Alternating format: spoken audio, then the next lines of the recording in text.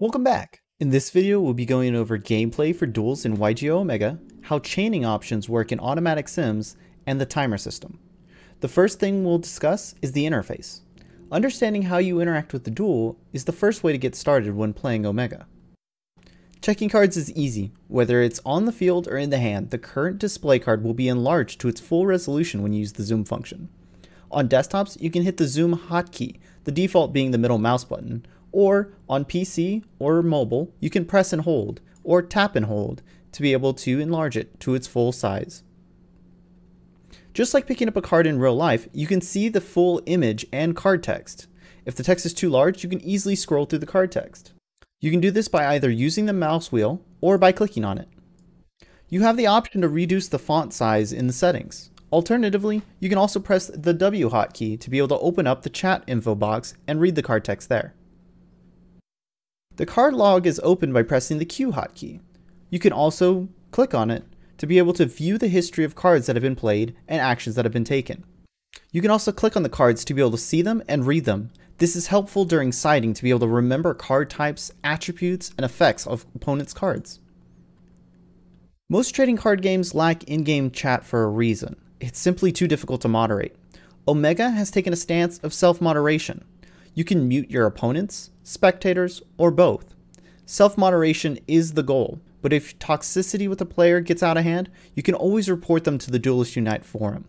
Please remember to include the player's ID. You can find this by right-clicking their life point bar or their image and pasting into the report. It'll be a long set of numbers, and this will allow the team to be able to take action, should it be necessary. Incognito and Safe Mode both allow you to prevent stream sniping for the first time in Yu-Gi-Oh! by hiding your identity in-game. Incognito mode will hide your name, avatar, sleeves, and playmat from your opponent. Safe mode does the opposite, hiding your opponent's name, avatar, sleeves, and playmat. Neither of these will prevent either player from being able to make reports as IDs will still be copyable. The voice chat option, if both players enable it, will allow you to be able to talk to your opponent through Discord's functionality. Delay chain will allow you to be able to have a random delay between 1 and 3 seconds added to each window of response during the game. This can be used to easily bluff your opponent that you have a response when really you don't. This will only add the delay when your current chain option wouldn't prompt you to respond. We'll talk a little bit more about this later. When you happen to be resolving a card effect that causes you to either add a card from the deck or special summon a card from the deck, we've made it so that way you can have your deck fanned out in front of you, as well as opening up other options like your extra deck or graveyard to be able to see what you have currently in the game state. Once you close that, it'll automatically bring your options back up to finish resolving the card. In order to help avoid accidental changing of phases, we've made it so that way you must press and hold on the button that you wish to move to the phase of. The circle lights up as the button is held to show how close you are to changing the phase. This only takes a second, but is meant to help prevent accidental phase changes. The display card is shown in the upper left hand corner. If you no longer want this, you can go ahead and turn it off by toggling it off here. Update display card shows whether or not you want cards that your opponent adds to the hand or activates to take priority of what you're currently moused over. This can be helpful to help you identify cards that are being quickly added to the hand before you lose them. If you want to, however, prevent this from changing the card that you're currently looking at, you can go ahead and toggle it off so that way only your mouse or finger tapping on the screen will change the display picture. The majority of the user interface is customizable in Omega, from the placement of the text box, the placement of the display card, and the size of the display card are all changeable along with the life point bars.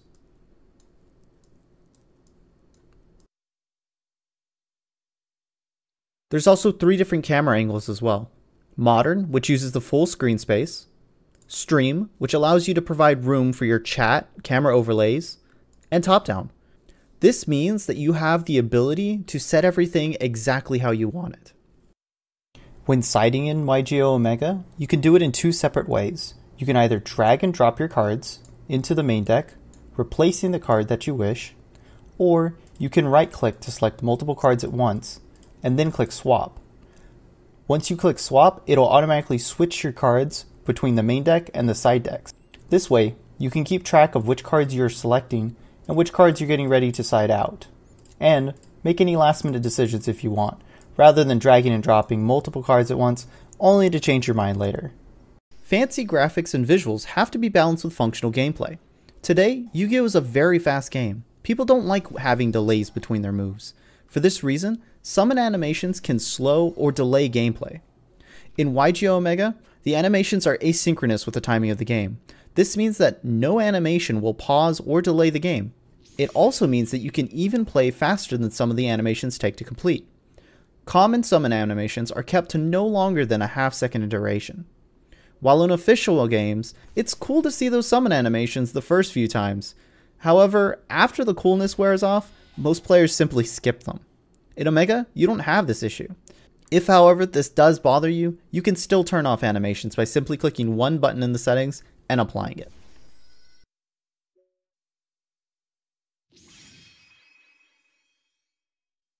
But let's get to the heart of Yu-Gi-Oh! Reacting to your opponent's actions, or chaining. In real life, when you play Yu-Gi-Oh! you communicate with your opponent to understand the flow of events and priority within the game whenever an action is taken. Special Summon. Does the summon resolve? Okay, activate effect. Any response? Hmm. Okay, that's good. Each of these is an event in the game. Just like in real life, sometimes you just tell your opponent, I got nothing, go crazy just so that way they stop asking you for a response. While other times you want to stop and think about what the opponent's doing before you give them the okay. This communication comes in the form of prompts when events happen. How many prompts you get is dictated based on the chaining option you have active in the moment. Let's say you're playing against a new deck you've never seen before. When your opponent plays a card, you want to stop and take the time to read each card before they resolve their effects until you get the flow of what their cards do. This would be comparable to all chain. When all chain is active, each point in the game will prompt you at every event that happens during the summon window of a monster, a card activating, an effect triggering. Whether you can actually respond to it or not, this chain will stop and ask you to examine the field to understand what's happening before allowing the opponent to resolve their effect or activate other effects on the chain. If you do have a legal action to take, It'll instead ask you if you want to legally activate a card. This chaining option gives you the chance to activate your cards at a variety of times, and also prompt you whenever you don't have a response, so that way you can bluff your opponent into thinking you have a card that you can activate, when really you don't. Due to all the prompts, however, it can lead to prompt fatigue, leading to the player just clicking no over and over and over, causing you to accidentally click no at an important junction when you actually wanted to activate a card effect. In Yu-Gi-Oh, there's no chance to go back. Once an event has occurred, it's gone. If you do not respond to a chain, there is no chance of going and adding onto the chain once it starts resolving.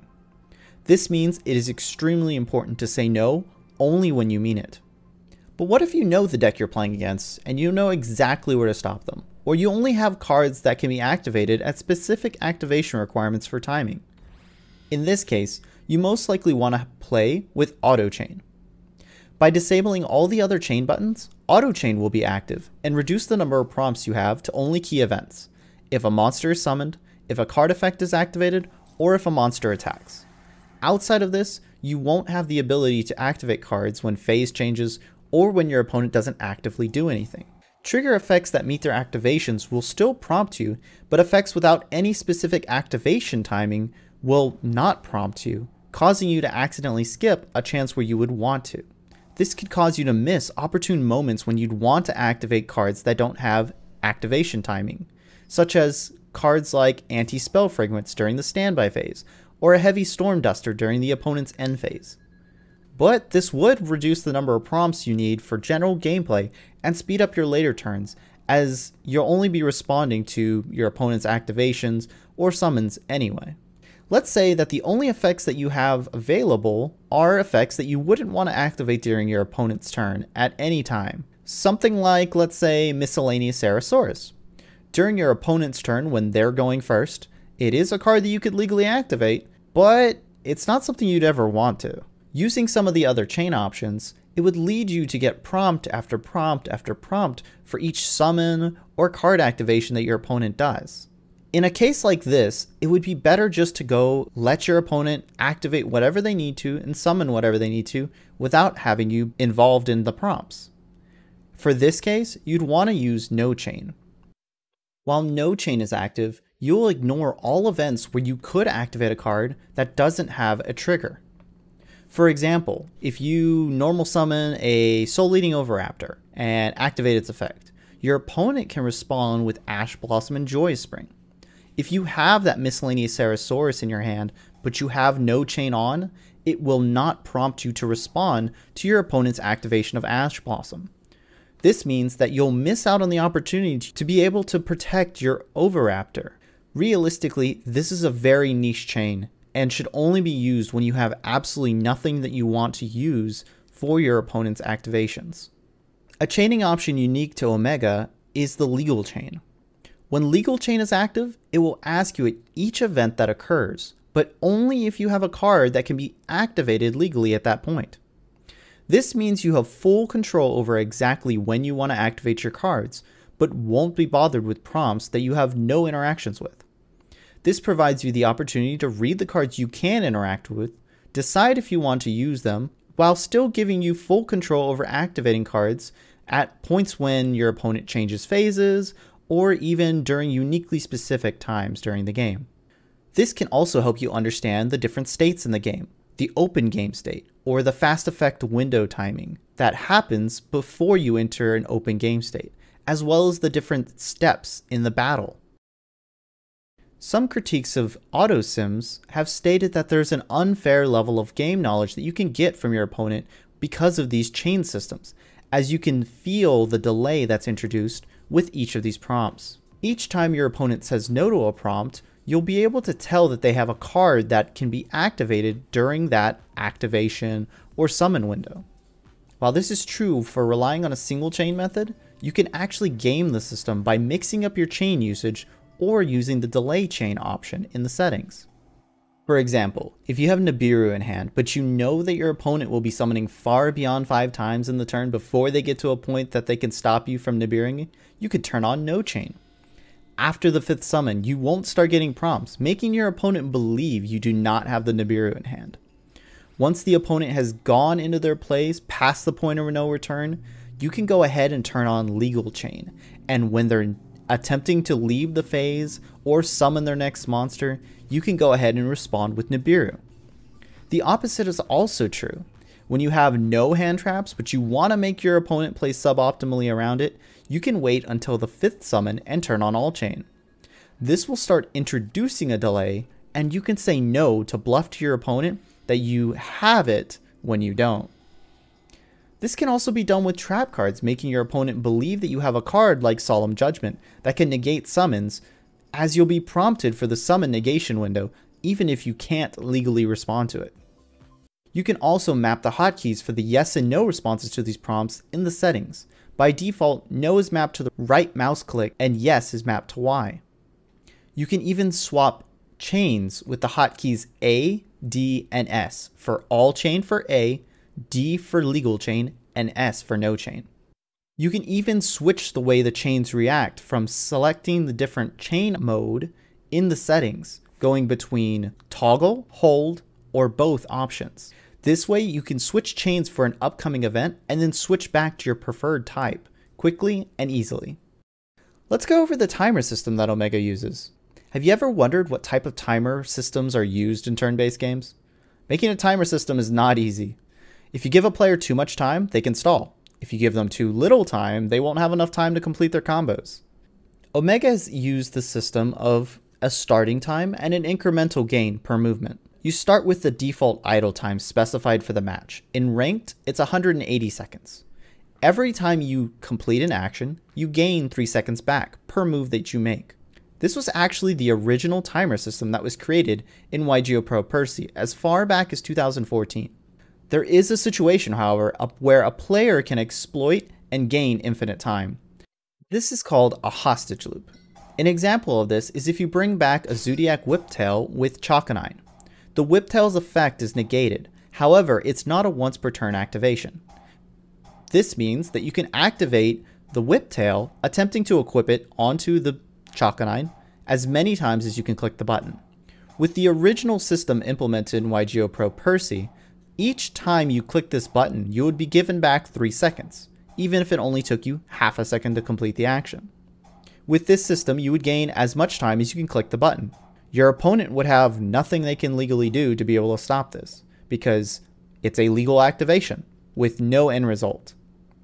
However, to circumvent this, in Omega, we've implemented a maximum gain of 300 seconds per turn. So, totaling this all up, your default 180 seconds in a match, plus the 360 seconds that you can gain through actions, results in a maximum time for a turn of 9 minutes, or 540 seconds. This is enough time to complete even the longest of combos, provided that you understand what you're doing. I want to thank you for watching this video, and if you need any more help or want to be a part of an awesome community, feel free to join us on Discord at https colon slash slash discord.gg slash unite. We hope to see you there.